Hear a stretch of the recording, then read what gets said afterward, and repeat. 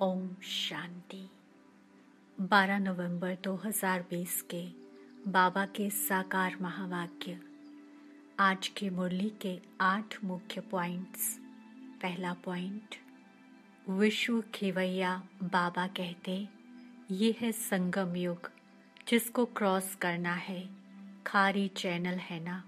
ये है मीठे मीठे अमृत की चैनल वह है विष की। अभी तुम विष के सागर से क्षीर सागर में जाते हो। दूसरा पॉइंट, रूहों के बाबा समझाते हैं, अब तुमको यथार्थ रीति बाप का परिचय देना है। तुमको भी बाप ने दिया है, तब तो समझाते हो, और तो कोई बेहद के बाप को जान न सके।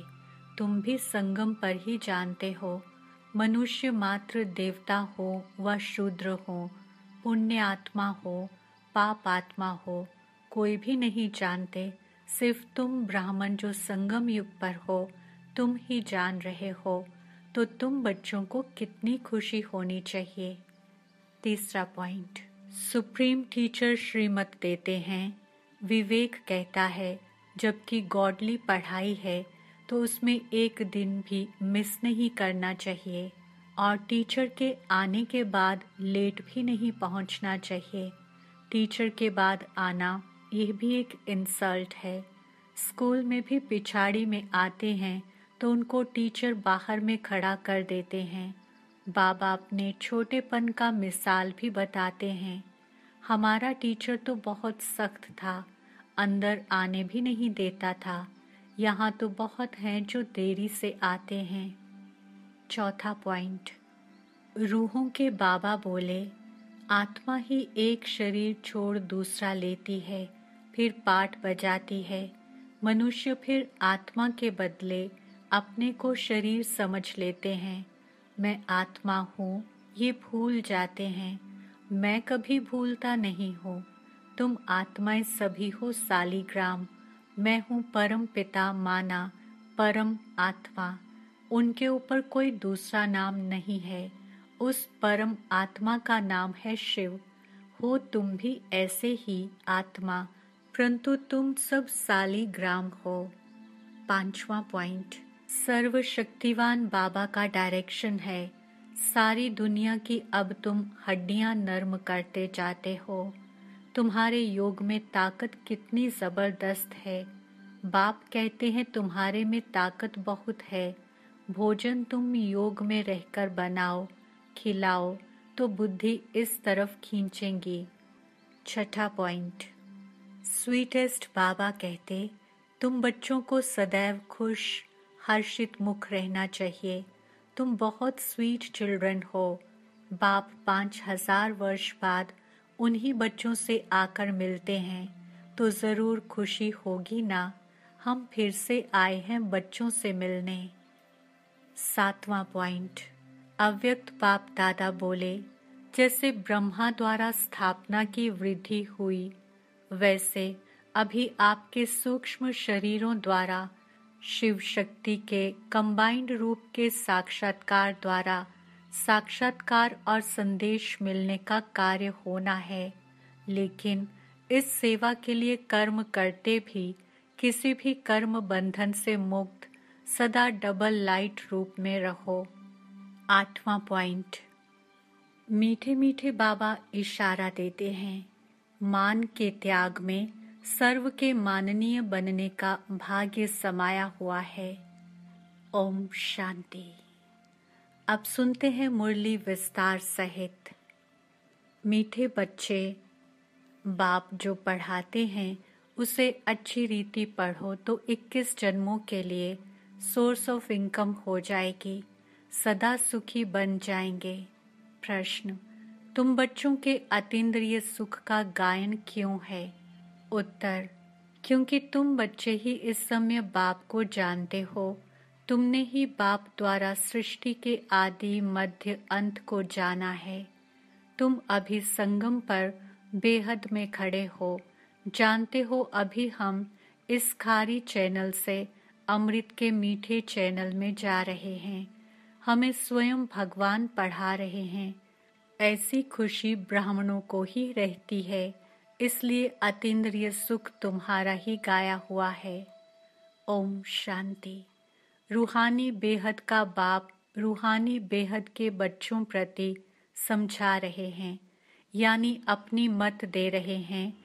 ये तो ज़रूर समझते हो कि हम जीव आत्माएँ हैं, परंतु निश्चय तो अपने को आत्मा करना है ना? ये कोई हम नया स्कूल नहीं पढ़ते हैं। हर पाँच हज़ार वर्ष के बाद पढ़ते आते हैं। बाबा पूछते हैं ना, आगे कभी पढ़ने आए हो? तो सब कहते हैं हम हर पाँच हज़ार वर्ष बाद पुरुषोत्तम संगम युगे बाबा के पास आते हैं। ये तो याद होगा ना कि ये भी भूल जाते हो। स्टूडेंट को स्कूल तो ज़रूर याद आएगा ना। एम ऑब्जेक्ट तो एक ही है।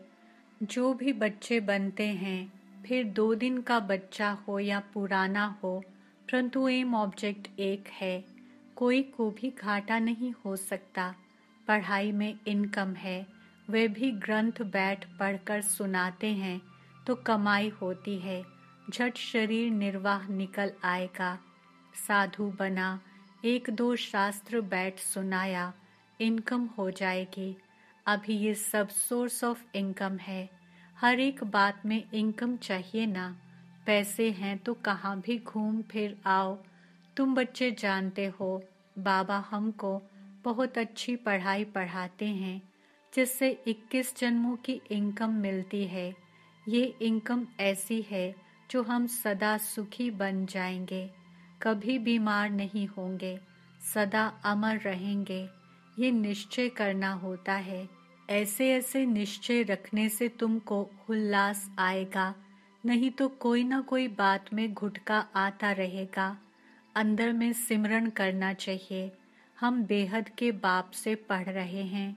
भगवान उवाच, ये तो गीता है। गीता का भी युग आता है ना, सिर्फ़ भूल गए हैं। ये है पांचवा युग। ये संगम बहुत छोटा है। वास्तव में चौथाई भी नहीं कहेंगे। परसेंटेज लगा सकते हैं। सो भी आगे चल बाप बतलाते रहेंगे। कुछ तो बाप के बतलाने की भी नोंद है ना। तुम सभी आत्माओं में पाठ की नोंद है जो रिपीट हो रही है। तुम जो सीखते हो, वह भी रिपीटेशन है ना। रिपीटेशन के राज का तुम बच्चों को मालूम हुआ है। कदम कदम पर पाठ बदलता जा रहा है। एक सेकंड न मिले दूसरे से। जू मिसल टिक टिक चलती रहती है। टिक हुई सेकंड पास हुआ। अभी तुम बेहद में खड़े हो। दूसरा कोई भी मनुष्य मात्र बेहद में नहीं खड़ा है। कोई को भी बेहद की अर्थात आदि मध्य अंत की नॉलेज नहीं है। अभी तुमको फ्यूचर का भी मालूम है।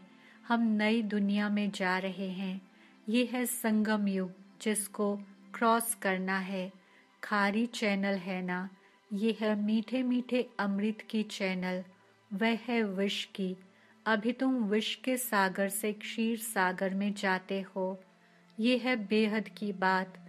दुनिया में इन बातों का कुछ भी पता नहीं है। नई बात है ना? ये भी तुम जानते हो। भगवान किसको कहा जाता है? वे क्या पाठ बजाते हैं? टॉपिक में भी बताते हो। आओ तो परमपिता परमात्मा की बायोग्राफी तुमको समझाएँ। यूँ तो बच्चे बाप की बायोग्राफी सुनाते हैं। कॉमन है। ये तो फिर बापों का बाप है ना? तुम्हारे में भी नंबरवार पुरुषार्थ अनुसार जानते हैं।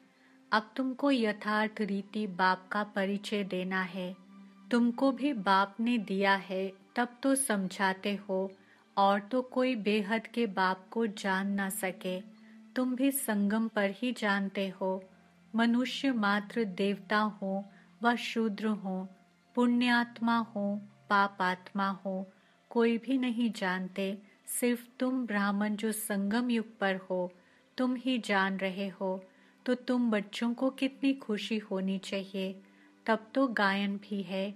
अतीन्द्रिय सुख पूछना हो तो गोप गोपियों से पूछो। बाबा बाप भी है, टीचर सतगुरु भी है। सुप्रीम अक्षर तो ज़रूर डालना है। कभी कभी बच्चे भूल जाते हैं। ये सब बातें बच्चों की बुद्धि में रहनी चाहिए। शिव बाबा की महिमा में ये अक्षर ज़रूर डालने हैं। सिवाय तुम्हारे और तो कोई जानते ही नहीं। तुम समझा सकते हो तो गोया तुम्हारी विजय हुई ना। तुम जानते हो, बेहद का बाप, सर्व का शिक्षक, सर्व का सदगति दाता है। बेहद का सुख, बेहद का ज्ञान देने वाला है। फिर भी ऐसे बाप को भूल जाते हो माया कितनी समर्थ है? ईश्वर को तो समर्थ कहते हैं, परंतु माया भी कम नहीं है। तुम बच्चे अभी एक्यूरेट जानते हो, इनका तो नाम ही रखा है रावण। राम राज्य और रावण राज्य इस पर भी एक्यूरेट समझाना चाहिए। राम राज्य है तो ज़रूर रावण राज्य भी है, सदैव राम राज्य तो हो ना सके। राम राज्य, श्री कृष्ण का राज्य कौन स्थापन करते हैं? ये बेहद का बाप बैठ समझाते हैं। तुमको भारत खंड की भी बहुत महिमा करनी चाहिए। भारत सच खंड था। कितनी महिमा थी। बनाने वाला बाप ही है। तुम्हारा बाप के साथ कितना लव है। एम ऑब्जेक्ट बुद्धि में है। ये भी जानते हो, हम स्टूडेंट को अपनी पढ़ाई का नशा होना चाहिए, कैरेक्टर का भी ख्याल होना चाहिए।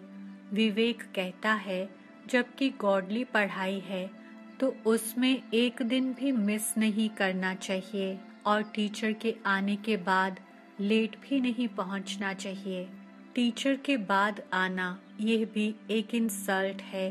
स्कूल में भी पिछाड़ी में आते हैं तो उनको टीचर बाहर में खड़ा कर देते हैं। बाबा अपने छोटेपन का मिसाल भी बताते हैं। हमारा टीचर तो बहुत सख्त था, अंदर आने भी नहीं देता था। यहाँ तो बहुत हैं जो देरी से आते हैं। सर्विस करने वाला सपूत बच्चा ज़रूर बाप को प्यारा लगता है ना। अभी तुम समझते हो, आदि सनातन देवी देवता धर्म तो ये था ना। इनका धर्म कब स्थापन हुआ? जरा भी किसकी बुद्धि में नहीं है? तुम्हारी बुद्धि से भी घड़ी घड़ी खिसक जाता है। तुम अभी देवी देवता बनने के लिए पुरुषार्थ कर रहे हो। कौन पढ़ा रहे हैं? खुद परम पिता परमात्मा। तुम समझते हो हमारा ये ब्राह्मण कुल है डेनेस्टी नहीं होती है। ये है सर्वोत्तम ब्राह्मण कुल। बाप भी सर्वोत्तम है ना? ऊंच ते ऊंच है तो ज़रूर उनकी आमदनी भी ऊँची होगी। उनको ही श्री श्री कहते हैं, तुमको भी श्रेष्ठ बनाते हैं। तुम बच्चे ही जानते हो कि हमको श्रेष्ठ बनाने वाला कौन है, और कुछ भी नहीं समझते। तुम कहेंगे, हमारा बाप बाप भी है, टीचर भी है, सतगुरु भी है, पढ़ा रहे हैं, हम आत्माएँ हैं हम आत्माओं को बाप ने स्मृति दिलाई है। तुम हमारी संतान हो। ब्रदरहुड है ना? बाप को याद भी करते हैं, समझते हैं। वे निराकारी बाप है तो ज़रूर आत्मा को भी निराकार ही कहेंगे। आत्मा ही एक शरीर छोड़ दूसरा लेती है, फिर पाठ बजाती है। मनुष्य फिर आत्मा के बदले अपने को शरीर समझ लेते हैं। मैं आत्मा हूँ, ये भूल जाते हैं। मैं कभी भूलता नहीं हूँ। तुम आत्माएँ सभी हो सालिग्राम। मैं हूँ परम पिता माना, परम आत्मा। उनके ऊपर कोई दूसरा नाम नहीं है।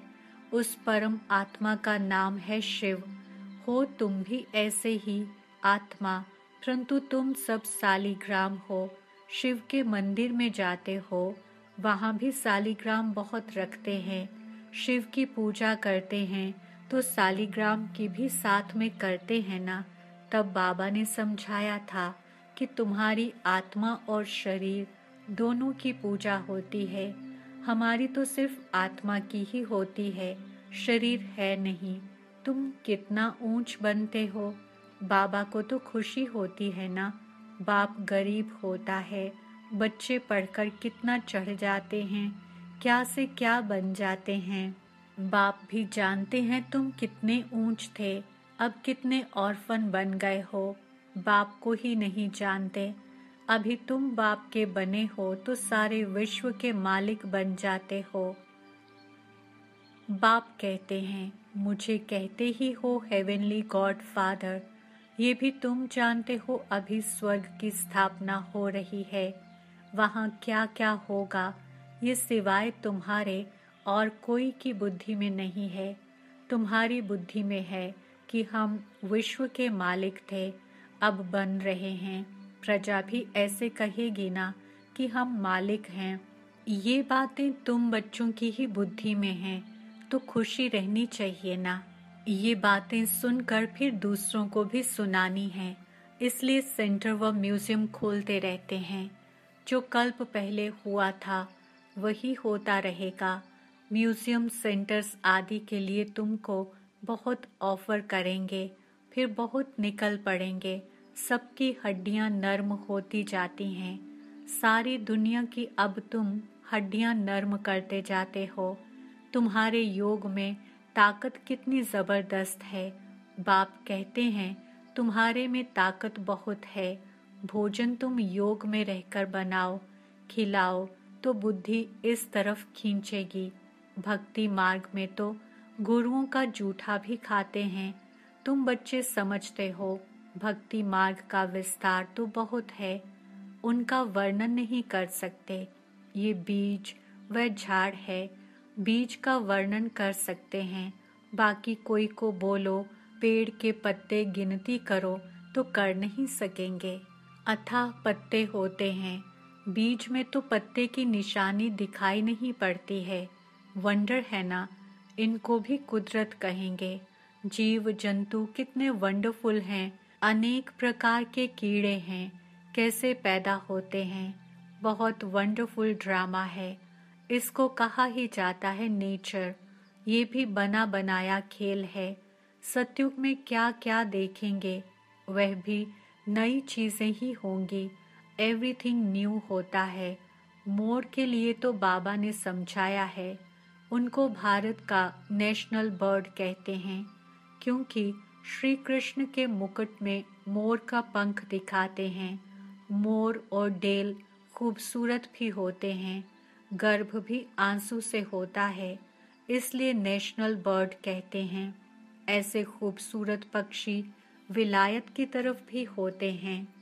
अब तुम बच्चों को सारी सृष्टि के आदि मध्य अंत का राज समझाया है, जो और कोई नहीं जानते।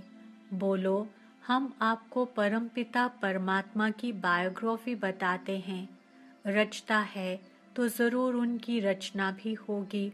उनकी हिस्ट्री जोग्राफी हम जानते हैं। ऊंचते ऊंच बेहद के बाप का क्या पाठ है, ये हम जानते हैं। दुनिया तो कुछ भी नहीं जानती। ये बहुत छी दुनिया है। इस समय खूबसूरती में भी मुसीबत है। बच्चियों को देखो कैसे कैसे भगाते रहते हैं। तुम बच्चों को इस विकारी दुनिया से तो नफरत होनी चाहिए। ये छीछी दुनिया छीछी शरीर है। हमको तो अब बाप को याद कर अपनी आत्मा को पवित्र बनाना है। हम सतो प्रधान थे, सुखी थे, अभी तमो प्रधान बने हैं तो दुखी हैं, फिर सतो प्रधान बनना है।